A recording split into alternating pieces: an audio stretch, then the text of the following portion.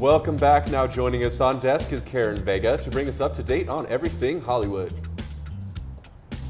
Thanks, Ben and Nina. Hello, Metro. Welcome to this week's segment of Entertain Met.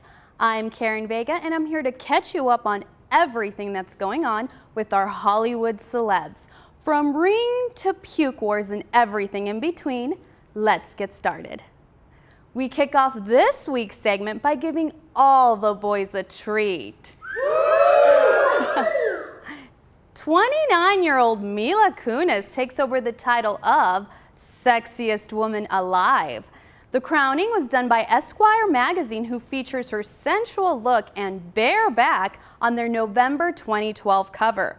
When asked how she feels about being the sexiest of them all, modest Mila said that she is much more focused on staying true to herself and quotes, what I do and who I am are two different things, and they always will be.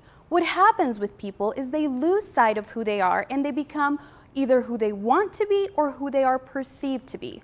Well, we sure know one thing. If Mila is the sexiest woman alive, Ashton is definitely the most envied man out there. Rapper Nelly was detained Wednesday night while police officers searched his tour bus and found heroin in addition to a loaded gun and massive amounts of marijuana. Police found 36 small baggies of heroin and over 10 pounds of weed, an amount about the size of a large bed pillow, to be exact. This is a perfect example of why you should say no to drugs. Well, apparently Lady Gaga took a page from the Justin Bieber nausea book and puked on stage this past weekend while performing Edge of Glory in Barcelona. During her presentation, Gaga puked not once, not twice, not even three, but four times. Ugh, someone please stock up on Pepto-Bismol because this means war, puke war. And the scandals continue. Whitney Houston's 19-year-old Bobbi Kristina is engaged to her 22-year-old adopted brother, Nick Gordon. Talk about keeping it in the family. Geesh. Bobbi Kristina's family isn't exactly thrilled about this awkward engagement. Who would be? Speaking about engagements, there seems to be a battle of the rings going on in Hollywood. In case you've been living under a rock, Jennifer Aniston is engaged to fiance Justin Theroux, while Angelina Jolie is engaged to Jen's former hubby, Brad Pitt. It's speculated that Jennifer's ring is in the 12 to 18 carat range with a radiant cut center diamond.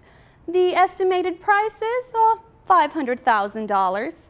The soon-to-be Mrs. Pitt is rocking a 16-carat blinger, which the own Brad Pitt himself helped co-design.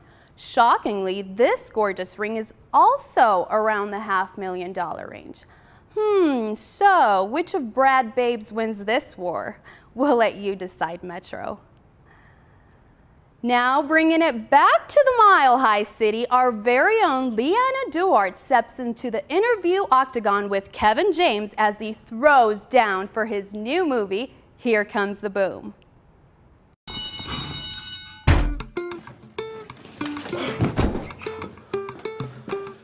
Oh, hey, Principal Betcher. You're late. Again.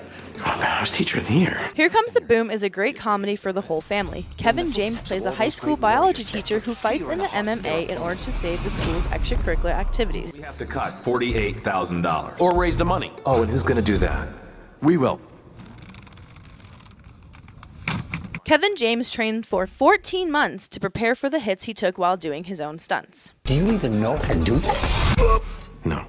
No, I do not. I got he got hit. I got Oh, yeah. banged up a little bit, you know, but uh, it, it was okay because it was all part of it, and uh, uh, you know, I, I'm I'm glad it hurt at the time, but uh, you know, even more than my face getting punched hurting, my ego hurt when I tried to punch other people and it didn't hurt them.